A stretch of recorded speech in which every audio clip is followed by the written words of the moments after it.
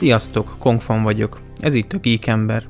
A mai könyv bemutató alanya pedig a penge futár lesz. A könyvet Ellen A. Norse írta, és az eredeti címe Blade Runner. Erre a videó folyamán még visszatérünk, de előtte jöjjön a szinopszis. A 21. század végére az amerikai Egyesült Államok egészségrendszere teljesen összeomlott. A túlnépesedés és az elszegényedés mindennapossá vált. A kormány ennek megfékezése érdekében bevezet egy eugenikai törvényt. Ez a gyakorlatban annyit tesz, hogy csak az jogosult orvosi ellátásra, aki sterilizáltatja magát. Teljesen mindegy, hogy eltörte a kezed, hogy rákos vagy-e, hogy egyszerűen csak megfáztál, ha nem sterilizáltatod magad, akkor nem látnak el. Ez természetesen elkerülhetetlenül feszültséghez vezetett, illetve megnyitotta a kapuit a föld alatti fekete orvoslásnak is. Az orvosi felszerelések és gyógyszerek beszerzését a fekete piacon az úgynevezett penge futárok végzik. Ők szedik össze, aztán juttatják el az orvosokhoz az eszközöket. A történetnek két főszereplője van, az egyikük Santa Billy, egy penge futár. Megbízható és tehetséges a szakmájában. De igazából szeretne orvos lenni, vagy legalábbis asszisztens. A neve abból jött, hogy történetesen tényleg Sánta, de a törvény miatt ugye nem tudja meggyógyítatni magát. A történet másik főszereplője, Doki, nyilván kitaláltátok már, hogy ő egy orvos, és megígérte Billynek, hogy meggyógyítja majd a lábát, ha segítkezik neki a föld alatti orvoslásban. Doki egyébként még mindig praktizál. Egy klinikán dolgozik, ahol éppen tesztelik az orvosok teljes robotizációját. Ezt ő felügyeli, és ő programozza be a robotokat. Viszont az egészet szándékosan szabotálja. A robotizációra azért van szükség, mert az emberek nem akarnak már orvosoknak, nővéreknek tanulni. Az emberek gyűlölik az eugenikai törvényt, amit bevezettek. Ellenálló csoportok alakulnak, és nem egyszer megtámadják még az orvosokat is a nyílt utcán. Dokinak az az álláspontja, hogy az orvoslás nem lehet gépekkel helyettesíteni, hiába tudnak kiválóan műtéteket végezni, ezt szerinte embereknek kell végeznie mindig. A könyv szörnyen hihetően mutatja be ezt a világképet, ezt a lehetséges jövőt. Gyakorlatilag semmi nem tűnik benne túlzásnak. Az orvosok robotokkal való helyettesítése igazából már nálunk is most elkezdődött. De igazából nem csak az orvoslásban látható ez. A sterilizációhoz kötött orvosi ellátás annyira rideg, annyira aljas, annyira számító dolog, hogy simán látok benne rációt. Túlságosan is hihető. A gyógyszerlobbik, az őrült hatalmi harcok az orvosi felső szektorban pedig igazából most is aktuális. Nem az emberek kezelése a lényeg vagy a meggyógyításuk, hanem a profit. Az író tehát egy meglehetősen sötét jövőképet fest le elénk. Gyakorlatilag minden egyes mondat után borsózott a hátam, hogy nehogy ide jussunk. És akkor jöjjön a fekete leves. A könyv rövid, és ez a legnagyobb gyengesége. Jól felépíti ezt a világot, felvezeti és elfilózik ezeken a témákon, aztán olyan gyorsan összecsapja és otthagyja az egészet a francba, ami nem méltó a könyv szellemiségéhez, súlyához és hangvételéhez.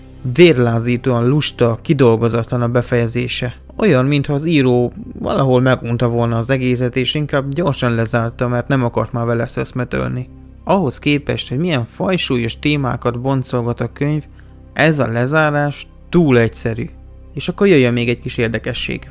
A kötetben helyet foglal egy irodalmi forgatókönyv is, amit William S. Burroughs írt. És akkor itt egy kicsit időzzünk el. A könyv eredeti címe, ahogy már korábban is mondtam, Blade Runner, ami a filmes világban jól ismert Szányos fejvadász című cyberpunk film.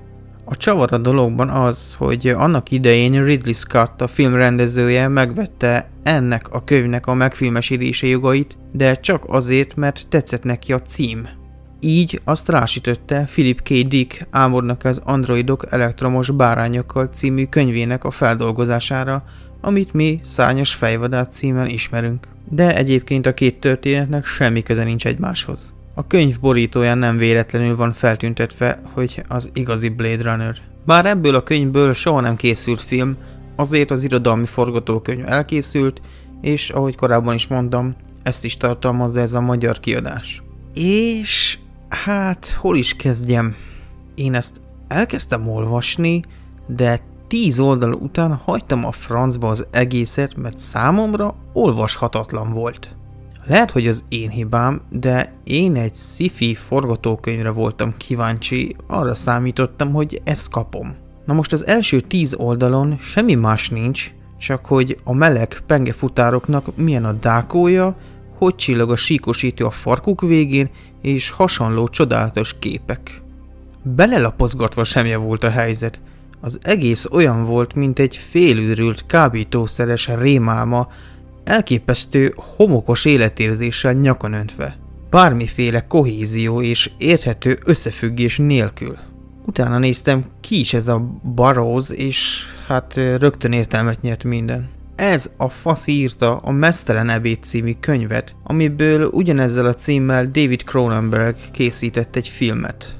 Ez arról szól, hogy egy rovarírtó a saját rovarírtó szerétől elkezd mindenféle fasságokat halucinálni, és egyre nagyobb baromságokat csinál. A halucinációk pedig pontosan olyanok, mint egy Cronenberg film. Óriási beszélő rovarok, torz idegen lények, kefélő írógépek és hasonló más nyalánságok. Ezzel szórakoztathatja magát két órán keresztül a szerencsétlen néző. Jó magam 40 percet néztem ebből a csodálatos alkotásból, aztán kikapcsoltam az egészet a picsába. Ezeket a dolgokat pedig az magyarázza, hogy Burroughs brutális kábítószerfogyasztó volt, teljesen tönkrement tőle. Gyakorlatilag nem lehetett egyedül hagyni a fickót, mert biztosra lehetett venni, hogy abban a pillanatban be fogja lőni magát valami szarral. Volt, hogy több hónapra eltűnt, és a saját barátai keresték meg, és a legnagyobb mocsokban találtak rá. Burroughsnak egyébként elég komoly elfolytott homoszexuális hajlamai voltak, és ezek ismeretében már érthető is, hogy az irodalmi forgatókönyv miért olyan, amilyen. Biztos vagyok benne, hogy van egy réteg, akiknek ez is szórakoztató, engem ez a stílus taszít, és egyáltalán nem vagyok rá kíváncsi. Ez a könyvbemutató. Ennyi lett volna, legközelebb majd egy képregényt hozok nektek, addig is élvezétek ezt a csodálatos borús, esős időt. Én Kongfan voltam, ez itt a Geek Ember. Sziasztok!